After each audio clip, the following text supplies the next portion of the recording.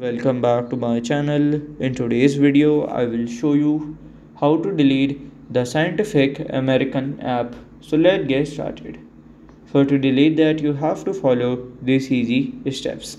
So you have to go, click on this as app info, go to the last second option, click on this uninstall here, do it again and then it would be done.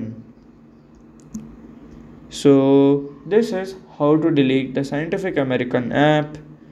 And if you find this video helpful make sure you like subscribe and share the video. Thank you for your watching